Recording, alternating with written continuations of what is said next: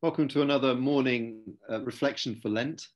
And uh, this morning we're with Stephen Green, who's going to lead us in a reading of a poem. So today's poem is by Gerard Manley Hopkins. It's called Pied Beauty. Um, it's uh, a short poem. Um, it's a dense poem, not easy to follow, but it's well worth listening very carefully. Over to you, Simon. Glory be to God for dappled things, for skies of couple colour as a brinded cow, for rose moles all in stipple upon trout that swim, fresh fire coal chestnut falls, finch's wings, landscape plotted and pieced, fold, fallow and plough and all trades, their gear and tackle and trim.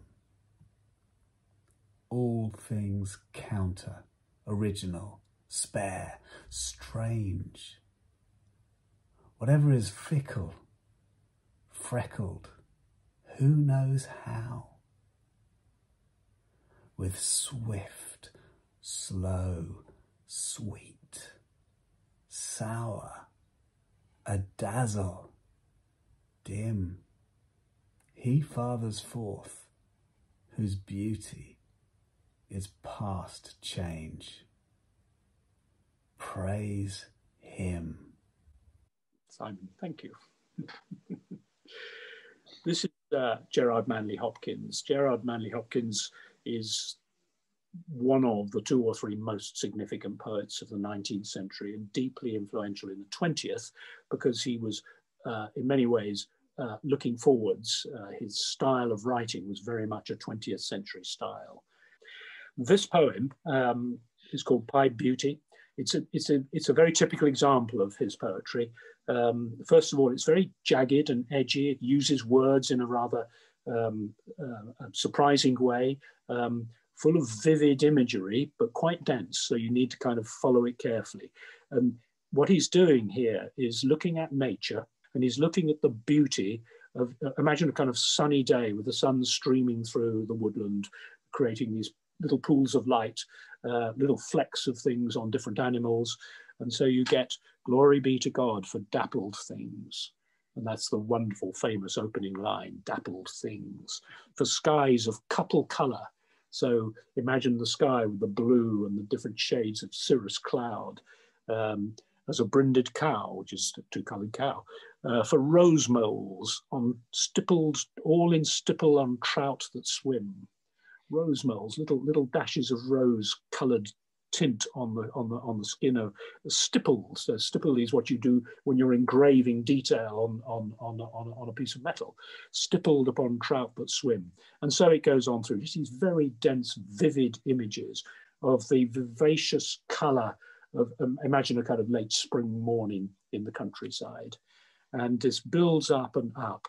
All things counter, original, spare, strange, whatever is fickle, freckled, who knows how, with swift, slow, sweet, sour, a dazzle, dim. He just loved the way in which these words caught our imagination. And then comes the climax or the punchline. He fathers forth, whose beauty is past change. Praise him. He, right. God of fathers forth. So there's the, the parent, the, the, the, person who brings this into being as a father who's then going to love what he has brought into being and whose beauty is past change, which is a reminder that all the other things he's been talking about are transient. The spring fades into the summer and thence into the autumn. The creatures uh, are born and live and die. The colours come and go with the weather and so forth. But he fathers forth whose beauty is past change. Praise him. I love the fact um, that he he's so into the detail. Yes. You know, typically yeah. when you think of a, of a of a hymn in praise of creation or in praise of nature, you think of the big things, the mountains and the, the, the clouds and the sun and the stars.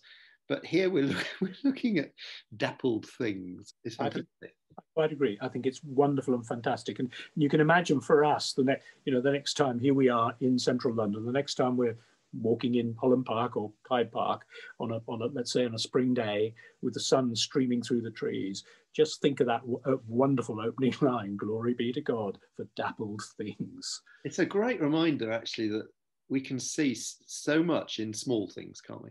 Yeah. If we take the time to look. Yeah. And even the small little details um, are a, a picture of God's creative genius almost. Exactly. And it, and it comes to rest at that final thought. It's the, it's the climax, it's the punchline, it's, it's the resting point of, of this effervescent flow of words about the glories of the creation. I think it's it is wonderful. But that last phrase, praise him, it's almost like suddenly everything stops. And you could you could imagine that as a call to worship. Yeah. But with with it, for me, it makes me want to just stop and be silent. It, yeah. Sort of like suddenly everything comes to a stop and you just wait. Yeah. There's, and there's a space for God. It's amazing. Space for God, the, the, the resting point at which words have words cease, and there's just a mysterious silence that is. You in the presence of God. Amazing. Yeah.